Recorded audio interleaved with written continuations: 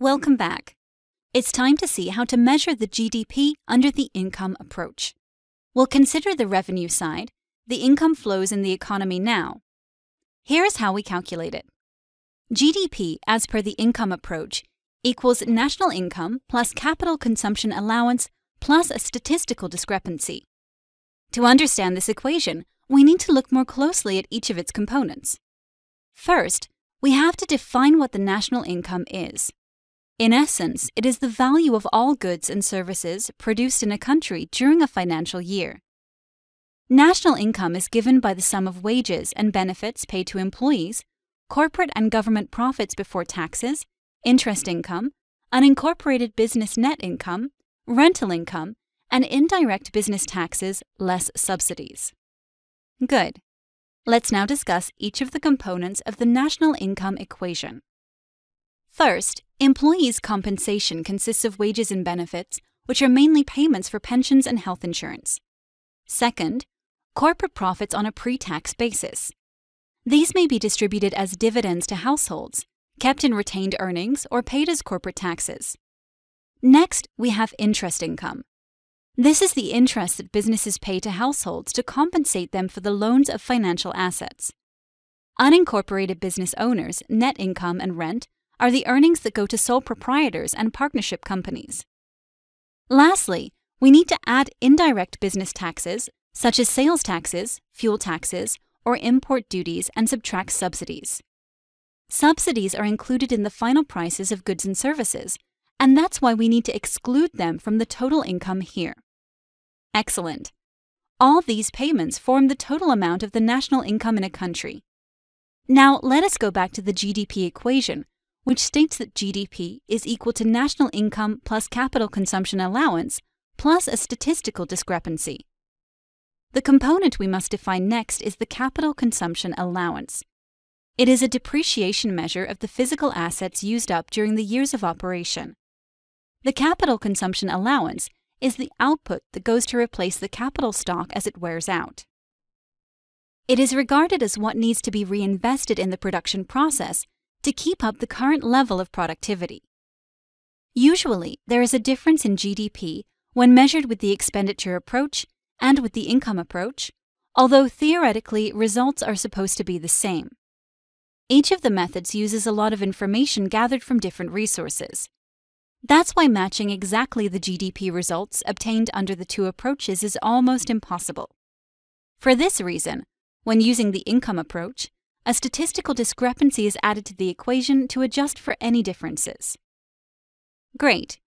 We have discussed how the GDP, or aggregate output, and the national, or aggregate income, relate. After all this, it is time to introduce a measure that is a little bit more specific. Let's quickly talk about personal income. Personal income is all the income received by households in a given country. It is important to know that this is the total amount of revenue received by individuals, not the government or the business in a country.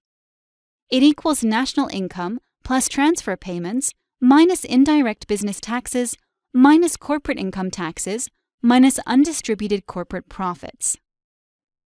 Please pay attention that the transfer payments are included with a positive sign. Why, you might ask?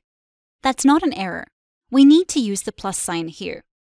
Personal income includes the transfer payments paid by the government, such as social insurance payments, unemployment benefits, and disability payments. Let's denote these with F. They are not considered as national income and not included in the national income figure, though. That's why we need to add them here. Good. What's next? When we calculate the personal income, we also need to deduct from the national income all taxes or profits that go to the business or the government. Why? Clearly, because these don't go to individuals and therefore are not considered personal income. In addition, we deduct the undistributed corporate profits. These are the retained earning accumulated by firms. We may even call them savings generated by businesses, or SB, as these funds are not reinvested in the production process. We are almost done, but let us ask ourselves why do we need to know the personal income? The main reason is to be able to calculate personal disposable income, or PDI in short.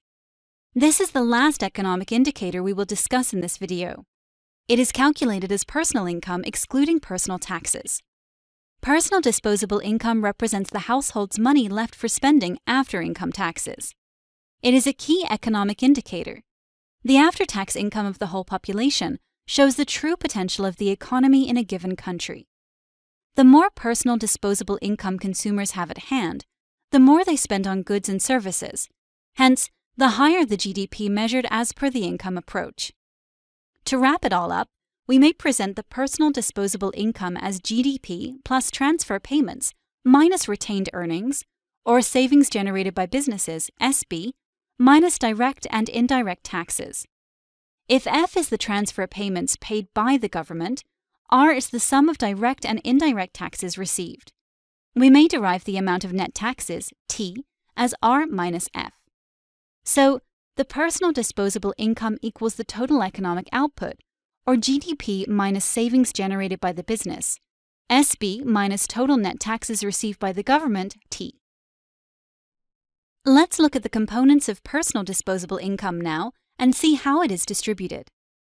People either spend it on goods and services or save it for future consumption. So we may say that it equals consumption C plus savings generated by households or SH. Substituting for personal disposable income, we get the following equation. Let's rearrange a little bit and group together the savings generated by businesses and households as total savings, or S. Therefore, we get that the GDP, or the aggregate income in the economy, is the sum of total consumption, total savings, and net taxes. This is another way to present GDP when applying the income approach. So, let's sum it all up. In this video, you learned how to calculate a few very important macroeconomic measures. GDP as per the income approach. Please keep the two formulas in mind. National income, personal income, as well as personal disposable income. Let us know if you have questions or any doubts about these. Well done. Let's take a short break and continue from where we've left off in our next lesson.